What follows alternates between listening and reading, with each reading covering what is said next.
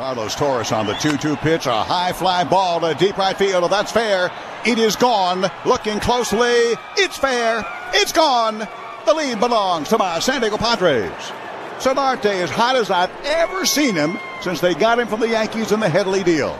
And that deal has paid off handsomely for the San Diego Padres. Right down the line in right field. There's his leap. Myers scores ahead of him. It's a two run home run. It's 5 3 Padres.